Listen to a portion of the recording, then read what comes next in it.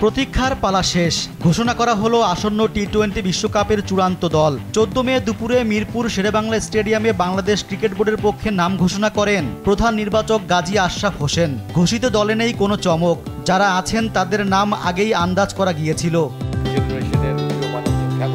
দলের পনেরো সদস্য হলেন নাজমুল হোসেন অধিনায়ক, তাসকিন আহমেদ সহ অধিনায়ক লিটন দাস, সৌম্য সরকার, তানজিদ হাসান, সাকিব আল হাসান তাহির হৃদয়, মাহমুদুল্লাহ রিয়াদ, জাকের আলী, তানভীর ইসলাম, শেখ মেহেদি হাসান, রিশাদ হোসেন, মোস্তাফিজুর রহমান, শরীফুল ইসলাম ও তানজিম হাসান। বাদ পড়েছেন বোলিং অলরাউন্ডার সাইফুদ্দিন। রিজার্ভ হিসেবে আছেন পেসার হাসান মাহমুদ ও অলরাউন্ডার আফিফ হোসেন।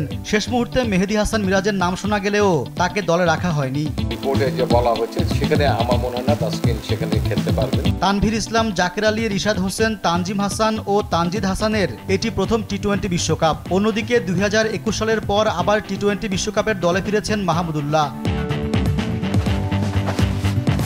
যুক্তরাষ্ট্র ও ওয়েস্ট ইন্ডিজে আগামী পয়লা জুন থেকে শুরু হবে টি টোয়েন্টি বিশ্বকাপ। এই মেগা ইভেন্টে অংশ নিচ্ছে বিশটি দল। বিশ্বকাপের আগে যুক্তরাষ্ট্রের বিপক্ষে তিন ম্যাচের একটি প্রস্তুতিমূলক টি টোয়েন্টি সিরিজ খেলবে বাংলাদেশ। বিশ্বকাপের দলে রিজার্ভে থাকা দুজনই থাকবেন যুক্তরাষ্ট্রের বিপক্ষে সিরিজের দলে। এবারের টি টোয়েন্টি বিশ্বকাপে ডি গ্রুপে রয়েছে বাংলাদেশ, যেখানে তাদের সঙ্গে রয়েছে শ্রীলঙ্কা, দক্ষিণ আফ্রিকা, নেপাল ও নেদারল্যান্ডস। আটজন শ্রীলঙ্কার বিপক্ষে বিশ্বকাপে নিজেদের প্রথম ম্যাচ খেলবে লাল সবুজের দল। রেজওয়ান সিদ্দিকি, দেশ টিভি।